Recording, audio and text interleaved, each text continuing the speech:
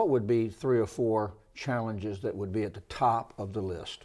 Well, Florida's still a growth state. Now, we're not necessarily growing as quickly as we were on the general population side with the recession, but our universities are continuing to grow. And one of the great challenges, even one of the great frustrations of a university president in Florida is our inability to really meet the access needs of our state university system. And that is bringing in more and more students who are ready and capable of acquiring a university degree, uh, but because of some of the financial situations we find ourselves in, uh, we've been generally capping enrollment to a great degree in itself.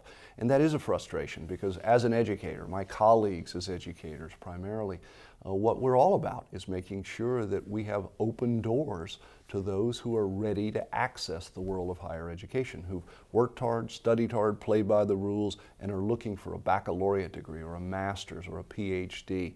And over recent years, a real frustration, uh, understandably. The country's in a deep recession with our inability to maintain the kind of access we all look for.